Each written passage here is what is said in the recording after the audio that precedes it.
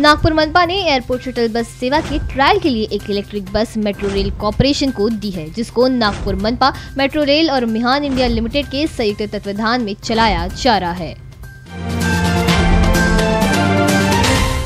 जलकर बकायादारों के लिए मनपा ने अभय योजना की शुरुआत की, इसमें 31 जनवरी तक सौ फ़ीसदी जुर्माना माफ़ किया गया। दूसरे अतिरिक्त मुख्य न्याय दंडाधिकारी नारायण देश पांडे ने मंगलवार को मारपीट व अन्य मामले के दो आरोपियों पर डेढ़ डेढ़ हज़ार जुर्माना लगाया। जरीपटका पुलिस ने ऑटो चालक को देसी कट्टे के साथ पकड़ा है। आरोपी सतीश अरुण ठवरे सुगत नगर जरीपटका का निवासी है।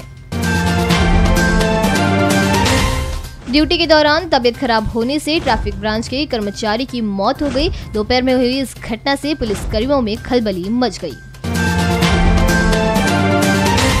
कोविड 19 के चलते लगे लॉकडाउन में शहर के हज़ारों बच्चे अपने नियमित टीकाकरण से वंचित रह गए। इस बैकलॉग को खत्म करने के लिए 8 फरवरी से इंद्रधनुष अभियान चलाया जा रहा है।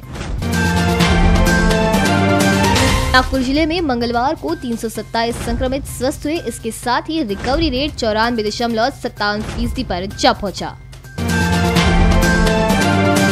ज़िले में मंगलवार को ग्रामीण की तीन केंद्रों पर ही कोविड का टीकाकरण अभियान चलाया गया, जबकि शहर में मंगलवार को टीकाकरण नहीं किया जाता।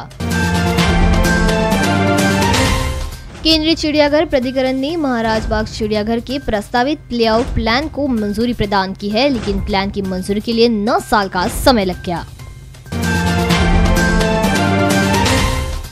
नागपुर मनपा के उनसठ उद्यानों का संचालन निजी हाथों में देने के प्रस्ताव को साय समिति ने मंजूर कर दिया। सुबह नौ बजे के बाद देना होगा पाँच रुपए का शुल्क।